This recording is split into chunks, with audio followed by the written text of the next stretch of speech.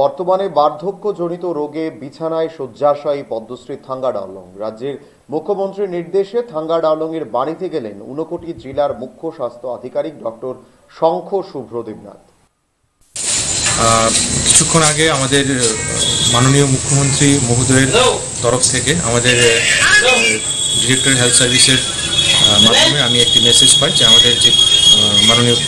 থাঙ্গার এবং পদ্মশ্রী পুরস্কার প্রাপ্ত, উনি অসুস্থ বার্ধক্যজনিত রোগে। তো সেই অনুসারে আমি আমাদের মুরাইবাড়ি পিএসসি টিম নিয়ে ওখানে পৌঁছি এবং ওখানে পৌঁছে ওনার শারীরিক